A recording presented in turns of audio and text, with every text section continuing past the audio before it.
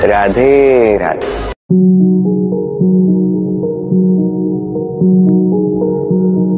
So so, Radhe Radhe my friends so मेरे भाई ऐसी कलर ग्रेडिंग करने के लिए आपको क्या करना है? सिंपली मेरे भाई ज़्यादा आपको कुछ नहीं करना है।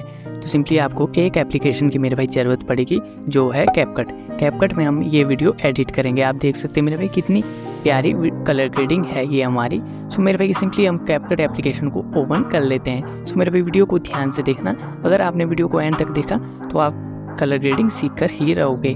तो मेरे भाई, ऐसी कलर ग्रेडिंग करने के लिए सबसे पहले हम वी कनेक्ट कर लेते हैं।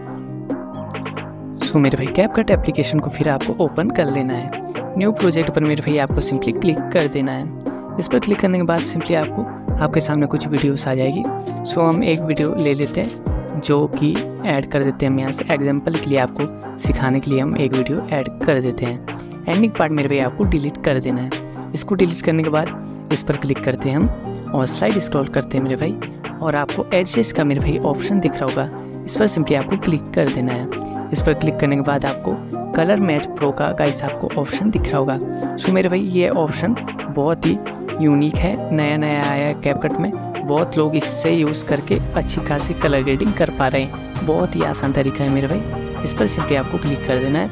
अपलोड पर मेरे भाई आपको सिंपली क्लिक कर देना है। इस पर आपको क्लिक करने के बाद जिस भी, जैसी भी आपको कलर ग्रेडिंग करनी है, उसका मेरे भाई आपको सिंपली स्क्रीन ले लेना है।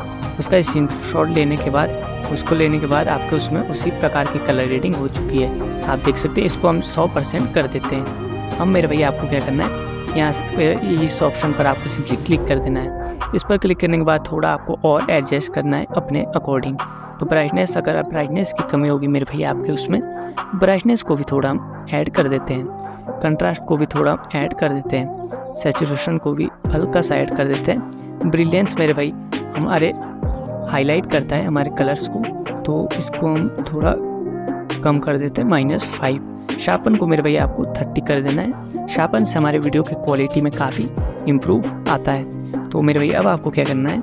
एच ग्राफ्स पर जाना है मेरे भाई, जो कि बहुत ही मेन चीज़ है कलर ग्रेडिंग की।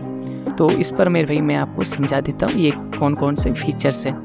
तो सबसे पहले ऊपर दिख रहा होगा हमारा ये ये गाइस ब्लैक्स और ये सॉरी ये गाइस वाइट्स और ये गाइस हाईलाइट और ये है मिड टोन्स और ये है शेडोज़ और ये है ब्लैक तो इसको आपको कुछ इस प्रकार से हम एडजस्ट कर देंगे। सो मेरे भाई, इसको हम ऊपर कर देंगे और इसको नीचे इस प्रकार से कुछ इसको एडजस्ट कर देंगे।